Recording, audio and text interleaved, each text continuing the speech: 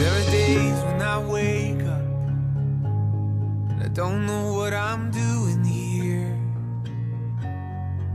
I barely recognize the pair of eyes staring back at me in the mirror.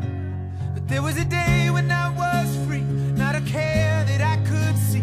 So good I barely could believe that it was happening.